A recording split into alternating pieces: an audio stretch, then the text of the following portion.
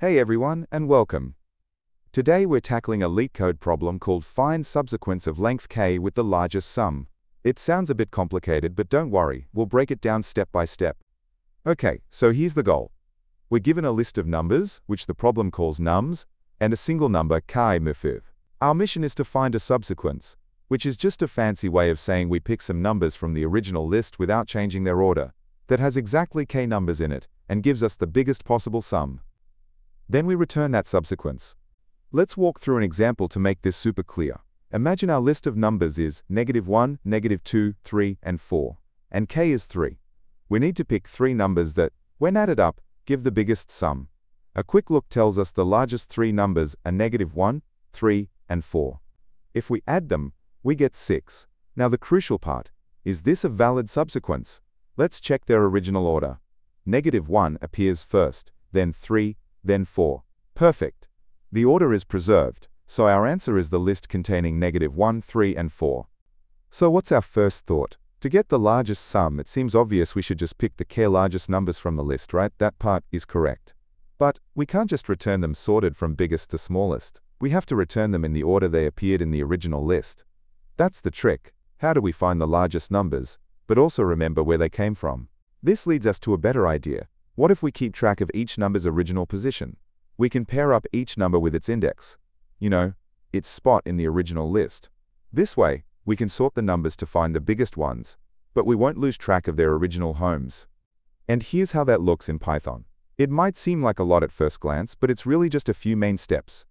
We're going to walk through each part so it makes perfect sense. First up, this line. All we're doing here is creating a new list. But instead of just having the numbers, each item in our new list is a small pair. The first element of the pair is the original index, or position. And the second element is the number itself.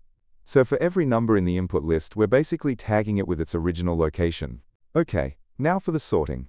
We take our list of pairs and sort it. But how?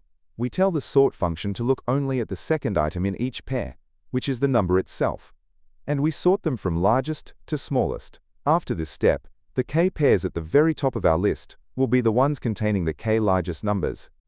Now that we've found our top k pairs, we're not done yet.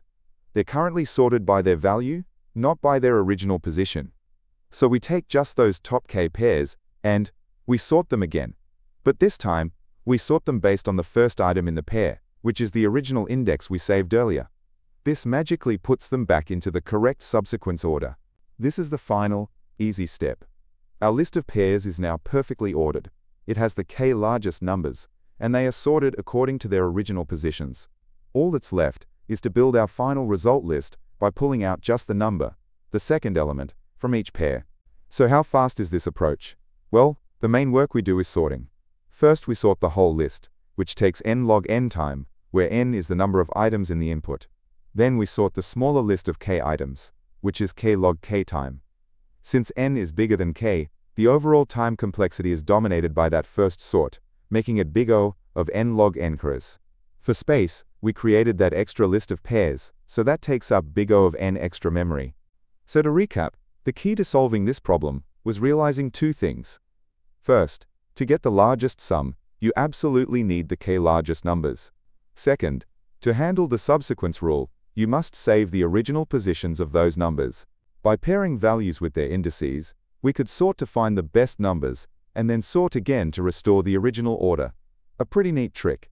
Hope that walkthrough was helpful. If you found this explanation clear, please hit that like button, subscribe for more LeetCode breakdowns, and feel free to ask any questions in the comments. And of course, the Boba Fund is always open for donations. Thanks for watching, and happy coding!